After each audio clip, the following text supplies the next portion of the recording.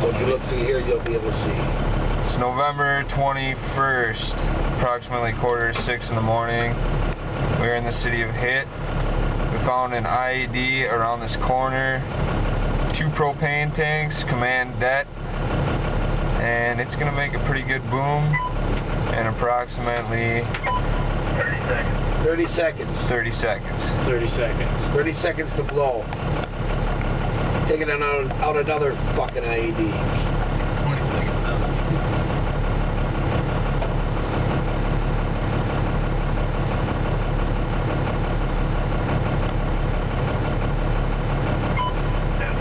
Ten seconds. 10 seconds. Hope I see it.